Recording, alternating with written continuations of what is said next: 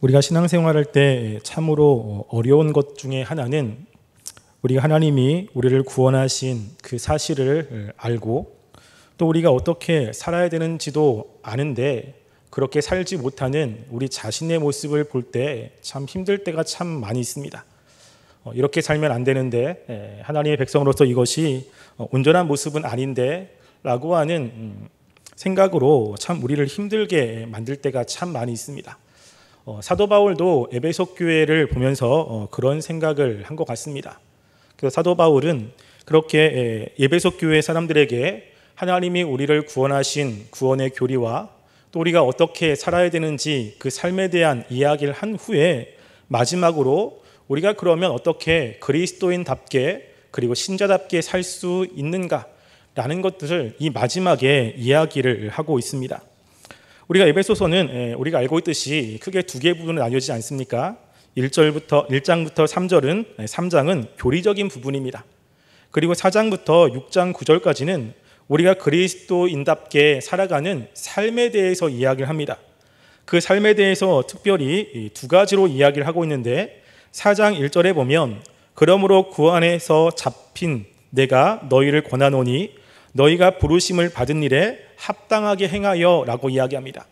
하나님이 우리를 부르셨는데 그 부르심에 합당한 행동이 있다라고 하는 것입니다. 그리고 나서 우리가 하나님의 백성으로서 새 사람을 입었는데 그 새 사람으로서의 삶에 대해서 에베소서 4장 17절부터 24절에서 이야기를 합니다. 24절 말씀을 보면 이렇게 기록되어 있어요. 하나님을 따라 의와 진리의 거룩함으로 지으심을 받은 새 사람을 입으라라고 기록되어 있습니다. 하나님께서 우리를 새 사람으로 만드셨고 우리는 새 사람에 걸맞는 삶을 살아야 되는 것입니다. 그래서 4장 25절부터 그런즉 너희는 이렇게 살아라 라고 하면서 우리가 어떻게 살아야 되는지를 계속해서 이야기를 합니다. 더 25절부터 6장 10절까지는 그런즉 그러므로라고 하는 것이 계속 반복되면서 그런즉 너희는 이렇게 살아라. 그러므로 너희는 이렇게 된다라는 것을 이야기를 하고 있습니다. 그런데 그 마지막에 6장 10절부터 20절 말씀에는 이제 그렇게 하나님의 백성으로 살아갈 때 사도 바울이 생각할 때 중요한 것이 또 하나 있는 것입니다. 그 중요한 것을 이야기를 하고 있습니다. 그것을 10절에 보면 끝으로라고 이야기를 하는데요. 이것의 헬라어는 τοῦ λοιποῦ라고 하는 단어입니다. 이것의 뜻은 지금부터 그리고 어, 지금부터 남은 시간이라는 뜻입니다. 그래서 사도 바울은 이제부터 이 에베소 성도들이 이렇게 하나님의 백성으로서 살아갈 때 정말로 중요한 이야기, 그리고 지금부터 해야 되는 것에 대해서 이야기를 하고 있는 것입니다. 그 이야기의 핵심은 바로 이 에베소 교회 성도들이 강해져야 된다라고 하는 것을 이야기를 하고 있습니다. 왜 강해져야 되는지는 바로 어, 신자들의 삶에는 영적 전투가 있기 때문입니다. 우리와 싸우는 그 악한 대적들은 우리보다 훨씬 더 강하기 때문에 우리가 강하지 않으면 하나님의 백성답게 살 수 없음을 이야기하면서 우리가 그 영적 전투에서 어떻게 싸워야 되는지를 하나님의 전신갑주를 이야기하면서 이야기를 하고 있는 것입니다. 이것은 우리들에게도 어, 중요한 예, 문제 중의 하나지요. 우리가 이 땅 가운데 하나님의 백성으로 살아가려면 우리는 강해져야 되는 것입니다. 강하기 위해서는 우리의 삶에 호시탐탐 노리고 또 공격하고 있는 이 마귀와의 영적 전투에서 승리해야 되는 것이죠. 그래서 사도 바울은 이 전투에서 어떻게 승리해야 되는지에 대해서 길게 이야기를 하고 있습니다. 우리 그 내용을 우리 간단하게 예, 살펴보도록 하겠습니다. 사도 바울이 마지막으로 에베소 교회 사람들에게 이야기를 하고 있는 것은 바로 그들이 강건해야 된다라고 이야기합니다. 10절 말씀에 이야기를 하고 있죠. 그러므로 너희가 주 안에서와 그의 그 힘의 능력으로 강건하여 지고라고 이야기합니다. 이렇게 강건하여 진다라고 하는 것은 사도 바울이 그 에베소 교회가 하나님의 은혜로 구원받은 그 사실을 이야기한 다음에 사도 바울의 두 번째 기도 제목의 중요한 제목 가운데 하나입니다. 특별히 에베소서 3장 16절에 보면 이렇게 기도하고 있습니다. 그의 영광의 풍성함을 따라 그의 성령으로 말미암아 너희 속사람을 능력으로 강건하게 하시오며라고 기도하고 있습니다. 에베소 교회 사람들의 속사람이 강건해지기를 기도하고 있는 거지요. 실제로 여기서는 너희가 그렇게 강건하여 지라라고 명령을 하고 있습니다. 이것은 수동 명령형입니다. 수동태라고 하는 것은 강건하게 지는 것이 우리의 힘으로 되어지지 않는다는 것입니다. 하나님이 우리를 강건하게 해 주셔야 강건해진다는 것을 이야기를 하고 있고 또 여기서 어, 현재 명령형이라는 것은 우리가 그렇게 강건하게 될 때, 강건하려고 할 때 우리가 해야 되는 역할이 있다라고 하는 것입니다. 단지 하나님께서 다 아, 하시는 것이 아니라 강건하게 되기 위해서 우리가 해야 되는 일이 있음을 이야기를 하고 있습니다. 그것이 뒤에 보면 전신갑주에서 너희가 그것을 입어라. 그리고 너희가 가져라. 라고 하는 명령형으로 이야기를 하고 있습니다. 왜 이렇게 우리가 강건해져야 되냐면 이 영적 싸움이 있다라고 하는 거지요. 그 사도 바울은 12절 말씀에 이렇게 이야기합니다. 우리의 씨름은 혈과 육을 상대하는 것이 아니요라고 기록하였습니다. 이 영적 싸움을 이야기할 때 특별히 사도 바울은 이 씨름이라고 하는 이 팔라라고 하는 단어를 씁니다. 이 팔라라고 하는 단어는 그 고대에 하고 있는 이 레슬링 같은 음, 것을 레슬링 시합을 이야기를 합니다. 어, 지금도 그렇지만 이 레슬링은 굉장히 예, 과격적인 예, 그런 운동입니다. 다른 어떠한 운동 종목보다도 레슬링은 굉장히 과격하고 그리고 힘든 예, 종목이라고 이야기를 합니다. 즉 우리가 이 싸우는 영적인 싸움은 이 레슬링처럼 굉장히 힘들다라고 하는 거예요. 그냥 쉬운 그러한 싸움이 아니라 정말로 힘들고 괴롭고 고통스러운 이러한 싸움이라는 것을 이야기를 합니다. 왜냐하면 이 싸움에서 어, 특별히 중요한 것은 우리가 이 싸움을 하는데 이 적을 구별하기가 쉽지 않다라고 하는 거예요. 우리가 싸움에서 중요한 것 중에 하나는 피하 식별을 잘해야 됩니다. 누가 적군인지 누가 아군인지를 잘 구별을 해야 됩니다. 제가 군대에 갔을 때 저는 포병에 있었습니다. 155mm 자주포에 배치가 됐는데 그 자주포의 가장 예, 큰그 위험 요소는 비행기입니다. 비행기. 비행기가 한번 뜨면 이 자주포 부대는 거의 초토화가 될 위험성이 있습니다. 그래서 비행기가 뜨면 그 비행기가 아군의 비행기인지 아니면 적군의 비행기인지를 잘 분별을 해야 돼요. 그래서 적군의 비행기가 오면 잘 위장을 해야 되고 아니면 잘 숨어야 됩니다. 그렇게 해서 가장 먼저 어, 가르치는 것이 바로 어느 비행기가 북한군이고 어느 비행기가 남한군인지를 분별을 하는 거예요. 우리가 싸움을 하는데 적군을 잘 분별하지 못하면 그 싸움을 하는 공동체는 분열이 될 수밖에 없습니다. 지금 사도 바울이 가장 먼저 이야기하는 것은요, 우리가 싸움을 할 때 피하 식별을 잘 해야 된다라고 하는 거예요. 누가 적군인지를 정확하게 봐야 된다는 것입니다. 왜냐하면 이렇게 구별하기가 쉽지 않기 때문이에요.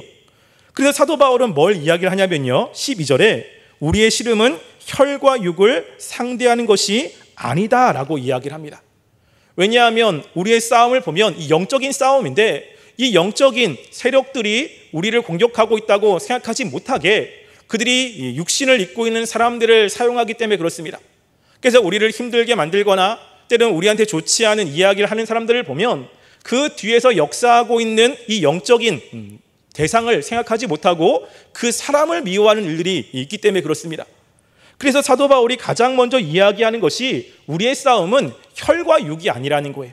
교회 안에 있는 사람들은 하나님께로부터 선택을 받아서 구원받은 하나님의 백성이고 우리의 동지인데 교회 안에 있는 사람들끼리 서로 싸우는 일들이 많이 있기 때문에 그렇습니다. 그래서 우리가 영적인 싸움을 할 때 혈과 육을 가지고 있는 것은 우리의 싸움의 대상이 아님을 가장 먼저 이야기를 하고 있는 것입니다. 이게 굉장히 중요하기 때문이죠. 두 번째는 우리가 싸우는 대상을 이야기를 하고 있는데요. 바로 우리가 싸우는 대상은 통치자들과 권세들과 이 어둠의 세상 주관자들과 하늘에 있는 악한 영들을 상대함이라 라고 이야기합니다. 지금 우리의 싸움에 대해서 사도 바울이 길게 이야기를 합니다. 왜냐하면 우리가 지피지기면 백전 백승 아니겠습니까? 적을 알아야 되는 거예요. 적을 알아야 우리가 뭘 준비해야 되는지 어떻게 싸워야 되는지를 알 수 있기 때문에 그렇습니다. 그래서 우리가 싸워야 되는 그 대상을 사도 바울이 길게 이야기를 합니다. 그때 이 적의 특징을 세 가지로 이야기합니다. 첫 번째는요, 이들은 강하다라고 하는 거예요. 그래서 그들은 뭐냐면 통치자들이고 권세자들입니다. 이 세상을 통치하는 권세가 있는 굉장히 강한 상대라는 것을 먼저 이야기를 하고 있고요. 두 번째 특징은 이들은 사악하다라고 하는 것입니다. 그래서 12절 보면 이 어둠의 세상 주관자들 하늘에 있는 악한 영들이에요. 이들은 결코 선하지 않습니다. 그들 가운데 선이라고 하는 것은 찾아볼 수 없을 정도로 굉장히 악하고 어둠의 세력들이라고 하는 거예요. 이들에게 페어플레이 이런 것들은 통하지 않는다는 것입니다. 세 번째 특징은 뭐냐면 이들이 굉장히 교활하다라고 하는 거예요. 그게 이제 11절에 이야기를 하고 있는데요. 11절에 보면 마귀의 관계라고 이야기합니다. 이 관계는 속임을 이야기를 하고 있죠. 그러니까 우리가 싸우는 이 영적인 음, 싸움의 대상들은 굉장히 강하고 그리고 사악하고 그리고 이 사람들은 굉장히 교활한 그러한 존재라는 것을 이야기를 하고 있습니다. 그래서 이러한 상대가 굉장히 강하기 때문에 우리의 힘으로는 그들을 이길 수가 없다라고 하는 거예요. 그래서 가장 중요하게 이야기하는 것이 바로 이 영적인 대상이 교활한 겁니다. 교활해. 그래서 그들의 모습을 광명의 천사로 둔갑해서 사람들에게 찾아가서 누가 적군인지 누가 아군인지를 구별하지 못하게 만드는 일들이 있다라고 하는 거죠. 맨 처음에 이 땅 가운데 죄가 들어왔을 때도 그렇지 않습니까? 이 마귀가 뱀으로 둔갑해서 하와를 유혹합니다. 직접 본인의 모습을 드러내서 이야기한 것이 아니라 자신의 모습을 바꿔서 하와에게 접근하고 있습니다. 그러면서 말씀에서 떠나게 만드는 일이 맨 처음에 일어난 사건이죠. 예수님에게도 그렇습니다. 우리가 마가복음 8장 33절 말씀에 이런 말씀이 있습니다. 예수께서 돌이키사 제자들을 보시며 베드로를 꾸짖어 이르시되 사단아 내 뒤로 물러가라 내가 하나님의 일을 생각하지 아니하고 도리어 사람의 일을 생각하는 도다 하시고라고 이야기하죠.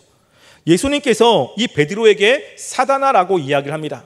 베드로가 사단이라고 하는 이야기는 아닙니다. 지금 사단이 베드로에게 역사에서 그 예수님에게 하나님의 말씀대로 하지 못하도록 방해하는 것을 이야기를 하고 있죠. 이 전에는 베드로가 예수님에게 칭찬을 받습니다. 그리고 난 다음에 바로 이런 일이 벌어지고 있는 거지요. 예수님께도 이 사단은 공격을 합니다. 그렇기 때문에 우리도 우리의 삶에서 이 사단이 둔갑해서 우리들에게 접근하고 우리에게 공격하는 것을 잘 알아야 된다라고 하는 거예요. 이것을 알지 못하면 우리는 이 싸움에서 승리를 할 수가 없습니다. 우리가 싸워야 되는 대상은 눈에 보이는 사람들이 아니고 그 배후에서 역사하는 악한 세력들이라는 것을 늘 염두에 두어야 됩니다. 그래서 교회 안에 우리에 대해서 좋지 않은 이야기를 하거나 여러 가지 문제를 일으키는 사람들을 보며 그 사람들을 미워하기보다는 그 뒤에서 역사하는 그 악한 세력들을 보고 기도해주고 그들이 그들의 악한 세력들의 속임에서 빠져나올 수 있도록 우리가 도와주는 것이 필요하다라고 하는 것이죠. 우리도 그렇습니다. 우리도 다른 사람에게 이러한 역할을 할 수 있다라고 하는 거예요. 그렇기 때문에 이 사단은 굉장히 우리의 삶에 가까이 그리고 우리의 말씀대로 살지 못하게 하기 때문에 우리는 이 싸움에 승리하기 위해서는 하나님의 전신갑주가 필요하다는 것입니다. 지금 여기서 사도 바울은 우리가 만든 어떠한 무기, 우리가 만든 어떠한 방어 수단을 이야기하는 것이 아니라 하나님이 말씀하시는 전신갑주를 이야기를 합니다. 이거 외에는 마귀와의 싸움에서 승리할 수 있는 방법이 없다라고 하는 거죠. 그래서 이 전신갑주가 무엇인지를 이야기를 합니다. 실제로 구약에서도 하나님께서 하나님을 대적하는 대상과 싸울 때 하나님도 갑주를 입고 싸우셨다는 것을 이사야 59장 16절부터 18절 말씀에 기록하고 있습니다. 이사야 59장 16절 18절 말씀 보면 이렇게 기록하고 있습니다.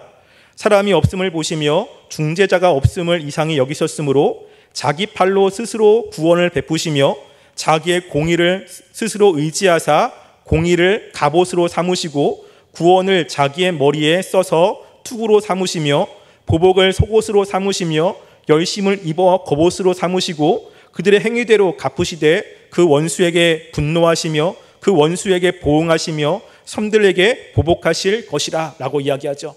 하나님의 싸움을 기록하고 있죠. 하나님께서 공의를 갑옷으로 구원을 자기의 머리에 투구로 그리고 보복을 속옷으로 열심을 겉옷으로 삼으셔서 이 전투에서 승리하셨다라고 하는 것입니다.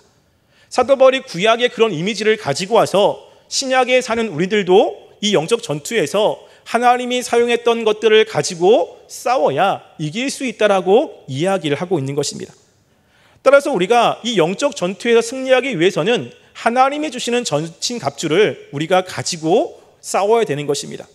그래서 사도 바울은 이 전신갑주가 무엇인지를 아주 구체적으로 잘 설명을 하고 있습니다. 이 전신갑주가 무엇인지 하나씩 다 설명하지는 않을 거고요.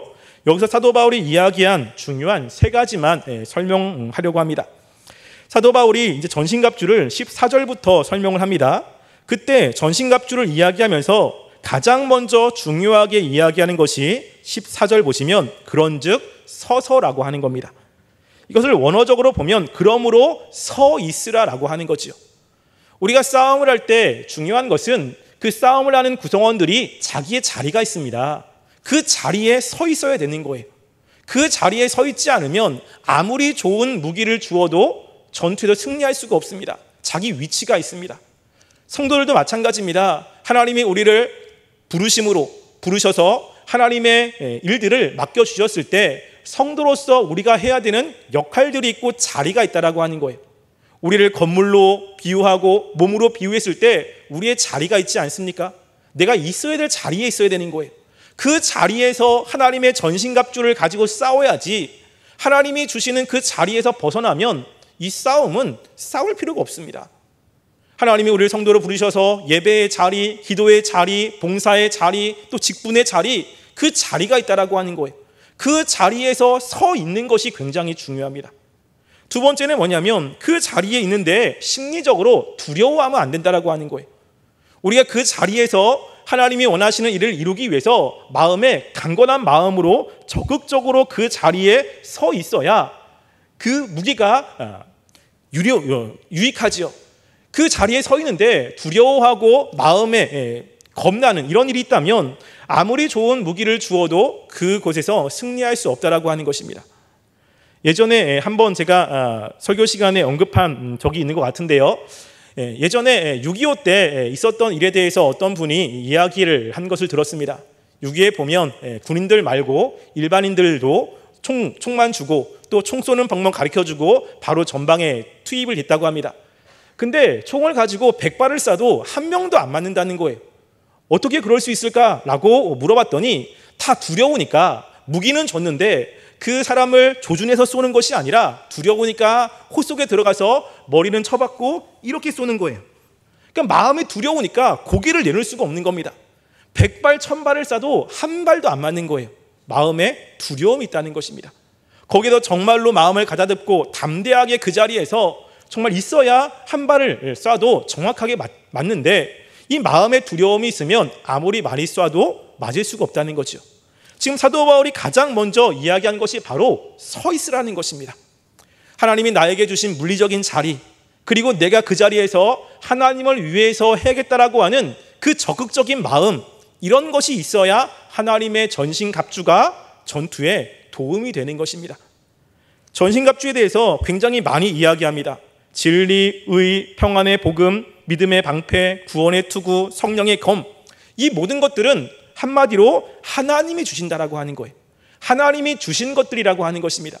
그래서 하나님이 우리에게 주신 진리와 의 이런 것들을 계속 묵상을 하고 그것이 무엇인지를 어렵고 힘들 때마다 계속 생각하며 그 어려움들을 이겨나가는 것이 굉장히 중요하다는 것입니다. 누구한테 집중하는 것이라고요? 하나님께 집중하는 것입니다. 어려운 그 순간에 하나님과의 나와의 관계, 하나님이 주신 그 복음의 의미, 내가 얻은 그 의로움, 그리고 믿음이 어떤 것인지, 또 말씀은 어떤 것인지 이런 것들을 끊임없이 묵상하면서 나에게 오는 어려움, 힘든 마음의 두려움 이런 것들을 이겨야 됨을 이야기를 하고 있는 것입니다. 마지막으로 세 번째는 사도 바울은 이렇게 하나님의 전신갑주에 대해서 이야기를 하면서 18절부터 20절 말씀에 중요하게 무엇을 이야기를 하고 있냐면요. 기도에 관해서 이야기를 하고 있다라고 하는 겁니다. 그래서 이 기도에 대해서 이야기를 할 때 사도 바울은 이 18절에서 모든이라고 하는 단어를 네 번이나 사용합니다. 모든 기도와 광고를 하되 항상이라는 것도 모든입니다. 모든 것에 성령 안에서 기도하고 이를 위해서 깨어 구하기를 항상 늘 모든 힘쓰며 모든 성도를 위하여 기도하라라고 하면서 이 기도에 대해서 강조를 하고 있습니다. 즉 우리가 영적 전투에서 승리하기 위해서는 하나님의 도움이 필요한 것입니다. 우리가 하나님의 주시는 그 은혜들을 묵상하고 그것들을 생각하는 것과 함께 하나님이 힘을 주셔야 하나님이 능력을 주셔야 이 싸움에서 승리할 수 있다라고 하는 거예요. 그래서 사도 바울은 그 기도에 대해서 중요하게 이야기합니다. 모든 기도와 강구로 또 성령 안에서 기도하고 이를 깨어서 기도해야 되며 힘써서 기도해야 되는 것입니다. 또 중요한 것은 무엇이죠? 자신만을 위해서 기도하는 것이 아니라 함께 여러 성도를 위해서 기도하는 것이 필요하다는 것입니다. 왜냐하면 나는 이겼는데 옆에 있는 사람이 지면 이 전투에서 나는 위험하지요. 어렵지요. 우리가 이 싸움에서 함께 이겨야 되는 것입니다. 나도 승리해야 되고 옆에 있는 사람도 승리해야 되는 것입니다. 그렇기 때문에 나의 승리를 위해서도 기도해야 되지만 옆에 있는 성도들을 위해서도 함께 기도해서 우리가 공동체적으로 모두가 다 승리하는 삶을 살아야 됨을 이야기를 하고 있는 것입니다. 우리가 예수님의 제자답게 또 주님께서 맡겨진 사명들을 우리가 삶에서 잘 이루기 위해서는 그것이 어떤 것인지 어떻게 해야 되는지 아는 것도 중요하지만 그것을 감당할 수 있는 강함도 필요합니다. 강건해져야 그 일을 감당할 수 있습니다. 강건하지 못하면 그렇게 해야 되는 걸 알매도 불구하고 안 되는 거지요. 근데 이 강건함은 하나님이 주셔야 되는 것이고 우리가 하나님이 주시는 그 자리에서 하나님을 생각하며 열심히 주님께 기도하며 나가는 것을 통해서 강해질 수 있다라고 하는 것입니다. 우리가 사도 바울이 이야기하는 이 전신갑주가 어떤 것인지를 잘 기억하시고 하나님께서 맡겨준 그 자리에서 이 하나님의 주시는 전신갑주를 가지고 맡겨진 사명들을 잘 감당하여 승리하는 성도님 되시기를 간절히 소원합니다.